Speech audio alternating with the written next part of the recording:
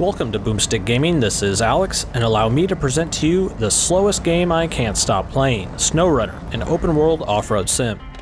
Now wait a second, I know you think you're either in or you're out on this type of game just from that niche genre descriptor alone, but take it from me, someone who has absolutely no interest in trucks, or really most all vehicles for that matter, because I can confirm there is still much to enjoy here even for those not automotively inclined.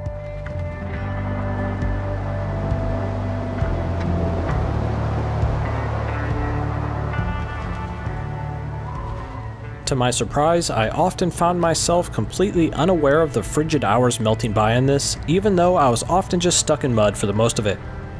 SnowRunner for me is not necessarily a gearhead driving simulator, it's a vehicular combat game where it's me versus the topography itself and Earthzone physics. The terrain is your enemy, and all you have to combat it with is your array of mechanized exosuits for your driver called trucks.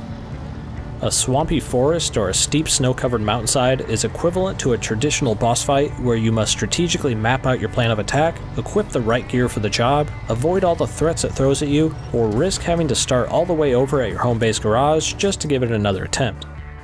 Yes, even as a truck, there is still a fail state in this, which is when you're completely alone and stuck without any recourse, which makes you constantly consider if the path that lies before you is really worth the risk.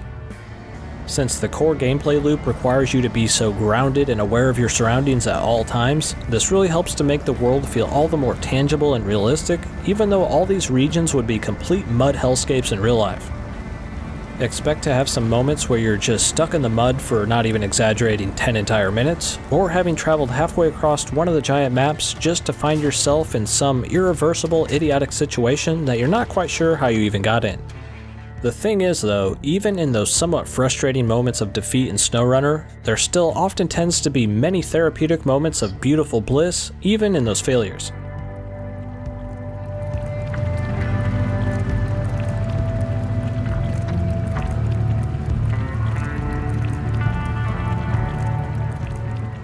Your prime motivation in SnowRunner is completing quests, earning money, upgrading your vehicles, and opening up new routes to be able to do it all the more efficiently. If you're the type of person who likes checking things off of big open world maps, that same map clearing satisfaction is in full effect here, just at a turtle on top of a snail's pace.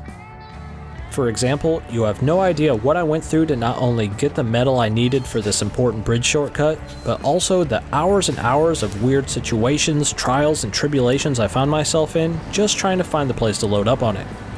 When I finally did complete that bridge after the absolutely brutal wilderness adventure, you can certainly bet on the fact that it felt all the more rewarding upon completion just because of that.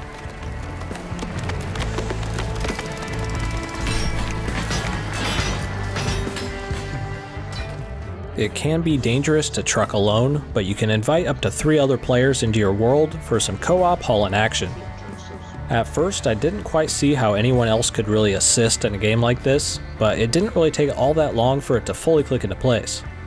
The other players can either help you haul additional supplies, help you complete some of your quests, or they can help get yourself or some of the more difficult to salvage vehicles out to safety.